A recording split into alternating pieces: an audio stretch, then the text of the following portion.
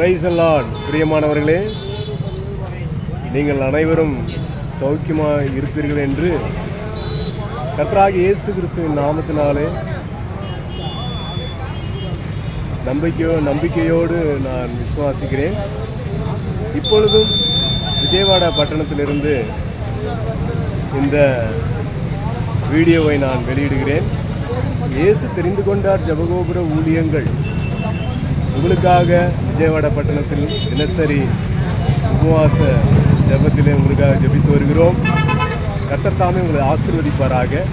இந்த சிறிய நேரத்தில் தேவன் தாமே எனக்கு வெளிப்படுத்தின வாக்கு தத்தத்தை பரிசுத்த வேதாகமத்திலிருந்து ஒரு வாக்கு தத்தத்தை பரிசுத்த ஆவியானவர் வெளிப்படுத்தின அந்த தேவனுடைய வார்த்தையை கோடிட்டு விரும்ப ஆசைப்படுகிறேன்.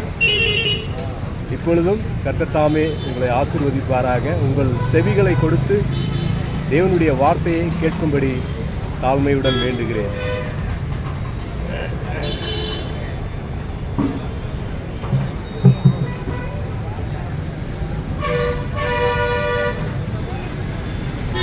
Praise the தாமே உங்களை ஆசீர்வதிப்பாராக. அது எரேமியா புஸ்தகம் முப்பதாவது அதிகாரம் பதினேழாவது வசனத்திலே தேவன் தாமே நமக்கு கொடுக்கப்பட்ட வாக்கு தத்தத்தை நான் வாசிக்கிறேன்.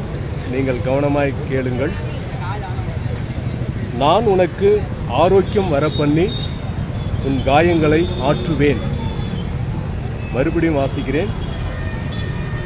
நான் உனக்கு ஆரோக்கியம் வரப்பண்ணி உன் காயங்களை ஆற்றுவேன் என்று தேவன் தாமே நமக்கு வாக்கு தத்தமாக கொடுக்கப்பட்டு கொடுக்கப்பட்டுள்ளார் பிரியமானவர்களே.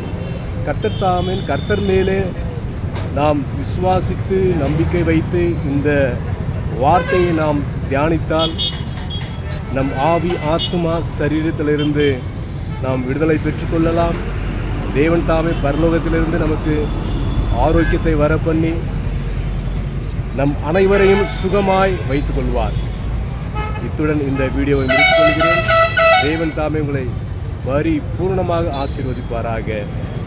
Nine one eight two one five two one double nine இந்த வாட்ஸ்அப் நம்பருக்கு உங்களுடைய ஜெப விண்ணப்பத்தை அனுப்பும்படி இயேசு தெரிந்து கொண்டார். ஜெபகோபுர ஊழியங்கள் சார்பாக விஜயவாடா பட்டணத்திலிருந்து கேட்டுக்கொள்கிறேன். என்னுடைய பெயர் உங்கள் சகோதரன் டி நேசி பார்த்திபன். ஆமே ஆமே